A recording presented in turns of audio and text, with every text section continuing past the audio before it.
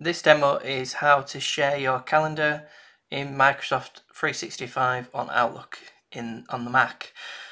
So start off in calendar view, which is the second pane in on the bottom. And then if you find your calendar, now you might see my calendar is currently empty, so I've turned off the calendar for privacy reasons. But if you right click your name and then go to sharing permissions,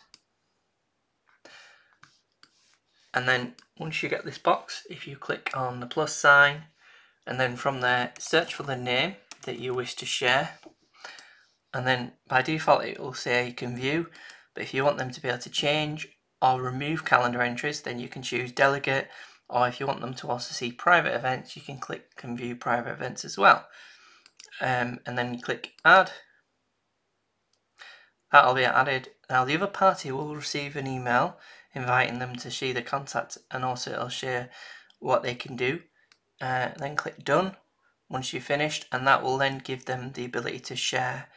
Um, if you want to remove access, the same thing is done again. Right click their name and then find the person and then you can click remove and then click done as well.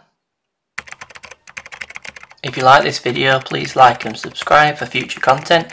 We release regular videos on tech tips and how-tos, and we'll be continuing to do so for quite some time. Thank you.